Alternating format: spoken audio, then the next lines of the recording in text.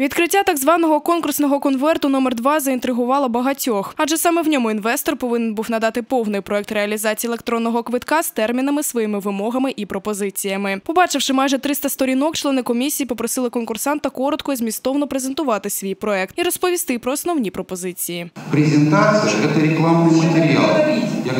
Презентация – это рекламный материал. Технико-экономические показатели и функциональные возможности этой системы содержатся в материалах, которые лежали в конверте номер два.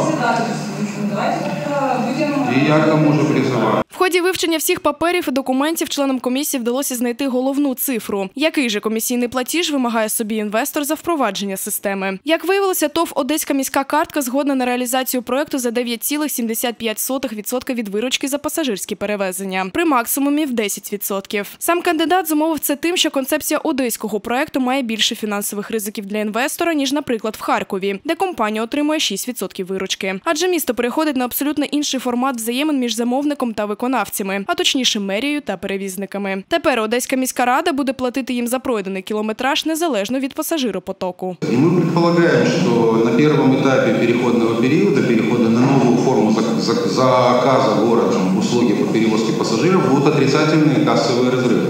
И эти кассовые разрывы будет перекрывать не бюджет города Одессы, а э, единый оператор за счет своих собственных средств. Это его прямые хозяйственные отношения с перевозчиком.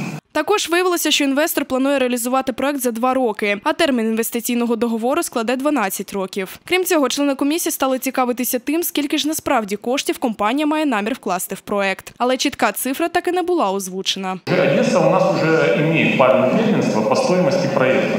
Дороже, чем 7 гривен. На сегодняшний день нет ни в одном городе Украины. Киев 8. А, э, в- э, И мне хотелось бы так, чтобы так сложилось, что и реализация системы, связанная с э, электронным билетом, у нас получилась тоже самой дорогой. Члени комісії зійшлися на тому, що візьмуть перерву для ознайомлення з усіма наданими документами і пропозиціями інвестора, а потім вже складуть список конкретних питань до конкурсанта. Наступне засідання призначили на 30 січня. А вже до 2 лютого комісія зобов'язана вибрати переможця.